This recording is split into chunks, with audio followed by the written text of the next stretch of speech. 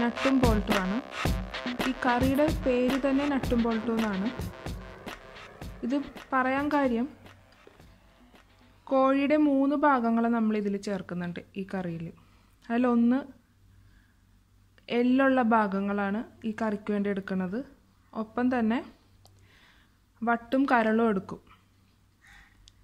അതുകൊണ്ടാണ് നട്ടും ബോൾട്ടും എന്ന് പേര് വരാൻ കാര്യം. ഞാനിവിടെ ഇതെല്ലാം ഒരു കിലോ വെച്ച് എടുത്തിട്ടുണ്ട് ഇനി നമുക്ക് നോക്കാം ഇതിലേക്കുള്ള ചേരുവകൾ എന്തൊക്കെയാണ് ഇത് ഒരു സവാളന് എടുത്തേക്കണം. ഇതുപോലെ നീളത്തിൽ കട്ട് ചെയ്തത്.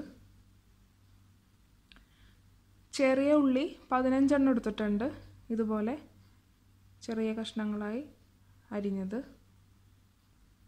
ഇഞ്ചിയും വെളുത്തുള്ളിയും കൂടി ചതച്ചത് ഒന്നര ടേബിൾ സ്പൂൺ ആവശ്യത്തിന് കറിവേപ്പില നാല് പച്ചമുളക് ഇതുപോലെ കീറിയെടുത്തത്.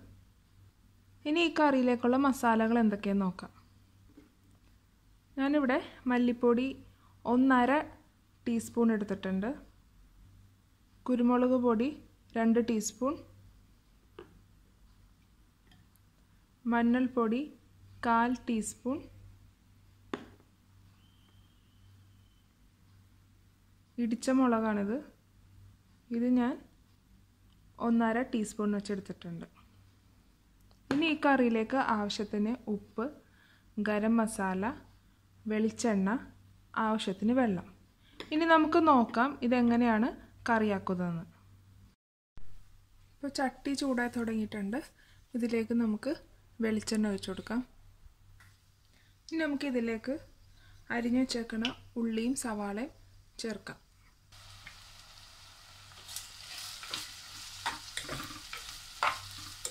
ഇനി ഇത് നല്ല ലൈറ്റ് ബ്രൗൺ കളർ ആവുന്ന വരെ നമുക്കൊന്ന് വഴറ്റി കൊടുക്കാം. ഇപ്പം ലൈറ്റ് ബ്രൗൺ കളറായി തുടങ്ങിയിട്ടുണ്ട്. ഇനി ഇതിലേക്ക് ചതച്ച് വെച്ച ഇഞ്ചി വെളുത്തുള്ളിയും കൂടി ചേർക്കാം. ഇതിന്റെ ഒപ്പം തന്നെ കറിവേപ്പിലയും പച്ചമുളകും ചേർത്ത് കൊടുക്കാം.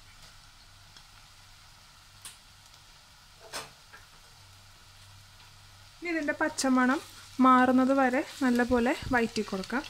ഇനി നമുക്ക് തീ കുറച്ച് വെച്ച് ചെയ്യാം. അല്ലെങ്കിൽ ഇഞ്ചിയും വെളുത്തുള്ളിയും കരിഞ്ഞു പോകും പച്ചമണം എല്ലാം മാറി റെഡി ആയിട്ടുണ്ട്. ഇനി നമുക്കിതിലേക്ക് മസാലപ്പൊടികൾ ഓരോന്നായി ചേർത്ത് കൊടുക്കാം. ആദ്യം മഞ്ഞൾപ്പൊടി ചേർക്കാം.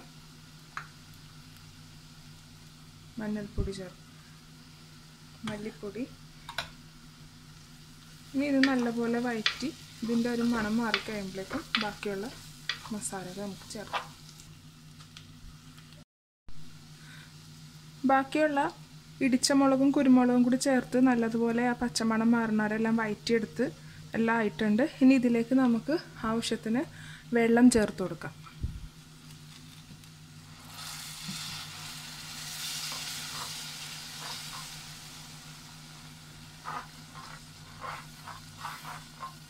ഒരുപാട് വെള്ളം ഒഴിക്കേണ്ട കാര്യമില്ല.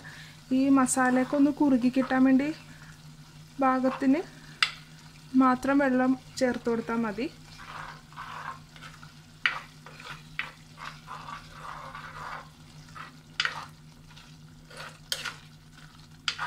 ഞാനിവിടെ ചേർത്ത് കൊടുത്തത് ചൂടുവെള്ളമാണ്. ഇപ്പം നമ്മുടെ ഗ്രേവിയൊക്കെ നല്ലപോലെ തിളച്ച് തുടങ്ങിയിട്ടുണ്ട്. ആ എണ്ണയൊക്കെ തെളിഞ്ഞ് വന്ന് തുടങ്ങി. ഇനി നമുക്കിതിലേക്ക് നട്ടും ബോൾട്ടും ചേർത്ത് കൊടുക്കാം.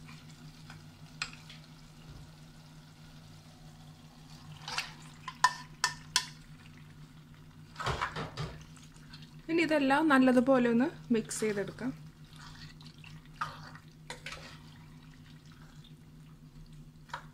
ഇപ്പം നല്ലപോലെ എല്ലാം മിക്സ് ചെയ്ത് വെച്ചിട്ടുണ്ട്.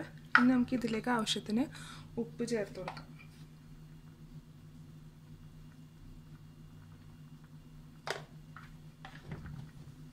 നല്ലപോലെ മിക്സ് ചെയ്യാം. ഇനി ഇതിലേക്ക് വെള്ളം ചേർക്കേണ്ട കാര്യമില്ല. ഇതിൽ നിന്ന് തന്നെ ചിക്കനിൽ നിന്ന് തന്നെ വെള്ളം ഇറങ്ങാൻ തുടങ്ങും. ഇനി നമുക്ക് സിമ്മിൽ വെച്ച് ഒന്ന് വേവിച്ചെടുക്കണം. ഇപ്പം എല്ലാം ഒന്ന് മിക്സ് ആയിട്ടുണ്ട്.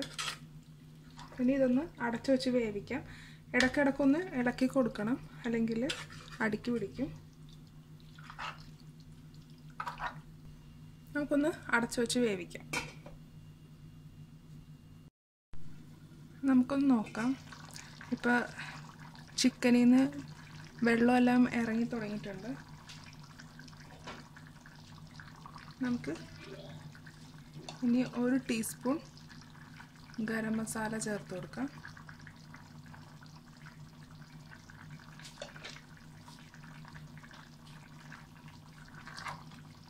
ചിക്കനൊക്കെ പകുതിയോളം വെന്ത് തുടങ്ങിയിട്ടുണ്ട്. ഇനി നമുക്കിത് ഹൈയിൽ തുറന്ന് വെച്ച് വേവിക്കാം. ഈ ചാറ് കുറച്ചൊന്ന് കുറുകണം. അതിന് വേണ്ടിയാണ് തുറന്ന് വെച്ച് ഹൈയിൽ വെക്കണത്. അപ്പോൾ ഇടയ്ക്കൊന്ന് ഇളക്കി കൊടുക്കുക. ഇപ്പം നമ്മുടെ കറി നല്ലോണം വെട്ടിത്തിളക്കാൻ തുടങ്ങിയിട്ടുണ്ട്. ഇനി നമുക്ക് തീ അണക്കാം അപ്പോൾ നമ്മുടെ നട്ടും പോൾട്ടും കറി ഇവിടെ റെഡി ആയിട്ടുണ്ട്. നിങ്ങൾ എല്ലാവരും ഇത് ട്രൈ ചെയ്ത് നോക്കണം Thanks for watching my video. Hope you enjoyed it. Please subscribe my channel, follow and share my social network.